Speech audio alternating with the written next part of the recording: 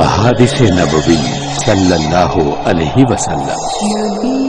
हज़रत अबू हुरेरा रज़ी अल्लाह अनहु ने बयान किया कि रसूलुल्लाह सल्लल्लाहु अलैहि वसल्लम ने फरमाया अल्लाह ताला जिसके साथ खैर भलाई करना चाहता है उसे आजमाइशों में मुब्तला कर देता है। सही बुखारी जिल्द नंबर सात किताबुल मर्जा।